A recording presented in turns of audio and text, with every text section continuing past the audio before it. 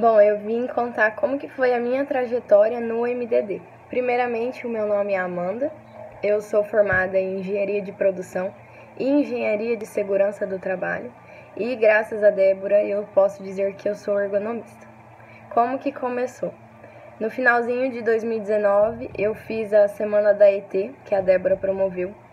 E no final daqueles três vídeos, eu fiquei encantada e fascinada com a metodologia que ela tanto falou e eu fiquei pensando que eu precisava muito fazer aquele curso. Um dos pontos que mais me chamou a atenção foi aquele vídeo que ela fala da mudança de mindset, que ela fala das crenças limitantes. E o ponto que mais me chamou a atenção foi que a gente não precisa ter 10 anos de experiência para começar a atuar na área. E além de outras coisas que ela falou, que a gente pode trabalhar em casa, a gente não precisa ter um escritório gigantesco e que a gente não precisa saber de tudo. Para mim, esse foi o ponto-chave, porque, como eu sou engenheira, eu não tive tanto contato com a ergonomia antes. E uma das coisas que eu ficava pensando muito era que o quão difícil seria se eu quisesse atuar com a ergonomia, uma vez que eu não era fisioterapeuta. Quando eu vi esses vídeos, a Débora, ela tirou uma pedra do meu caminho. Foi uma luz aberta no fim do túnel, porque ela falando, ouvir ela falando aquilo fez total diferença. Foi aí que eu decidi fazer o curso, a trajetória MDD. E eu finalizei esse curso agora, recentemente, mas queria contar para vocês rapidamente como que foi o meu ano de 2019. O meu ano de 2019 não foi um ano tão bom financeiramente. Eu passei por alguns desempregos. E eu me recordo bem que eu consegui uma consultoria mas infelizmente eu só consegui uma consultoria durante o ano de 2019. E essa consultoria ela me trouxe algum retorno financeiro, mas como era única, não trouxe tanto. Quando eu decidi fazer o curso da Débora, eu ganhava 700 reais. E eu fiquei pensando, meu Deus, eu já não tenho tanto dinheiro guardado. E se eu pagar esse curso, como que vai ser daqui pra frente?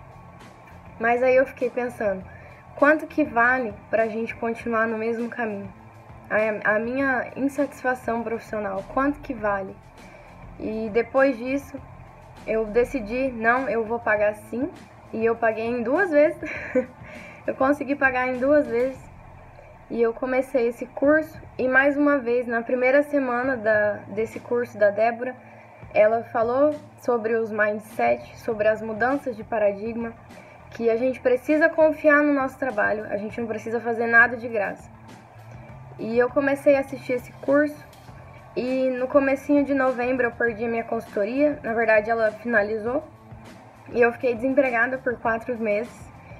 E o curso, esse curso da Débora, eu posso dizer para vocês que foi uma das únicas coisas que me deu força para continuar, continuar acreditando que daria certo, que as coisas dariam certo.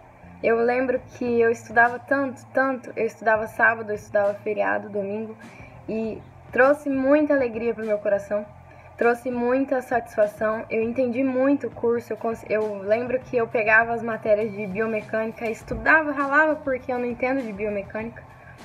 As aulas ao vivo foram sensacionais.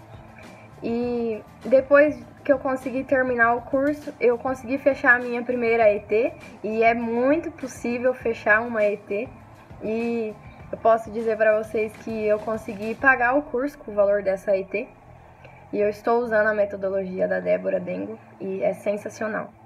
E resumindo, eu tenho muita alegria, muita satisfação profissional de ter feito esse curso, eu não me arrependo de forma nenhuma.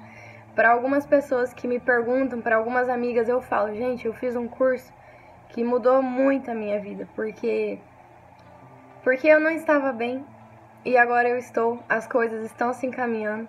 E eu posso te dizer que muito foi desse curso. Eu só tenho a te agradecer. Débora, eu já te agradeci mil vezes e continuarei te agradecendo, porque toda essa mudança foi graças ao curso, graças a você. Muito, muito obrigada por tudo que você nos proporcionou, por tudo que você nos proporciona. Muito obrigada.